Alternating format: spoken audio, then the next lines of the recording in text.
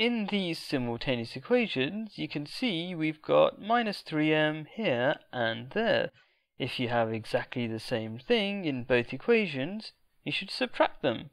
This is the same as this, so when you subtract them, you get 0, which is great, because you want something to disappear and so make things simpler, like you have here. Minus 3m take away minus 3m is 0, 4n take away 2n is 2n, 26 take away 16 is 10.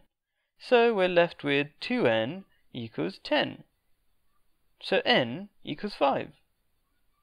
Once you have one bit of the puzzle, i.e. n equals 5, then it's easy to solve the remaining bit, that is, what is m? To work out m, I need to put my answer for n into equation 1 or 2. It doesn't matter which one. Substituting n equals 5 into equation 1 means sticking this 5 here in place of n. So now equation 1 becomes this.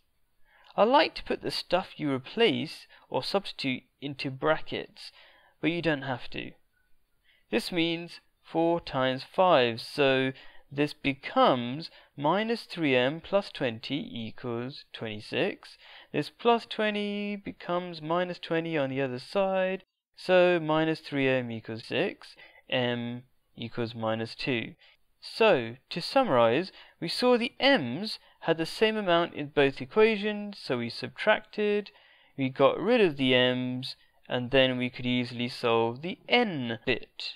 Once we'd got the n, we could go back and solve the m.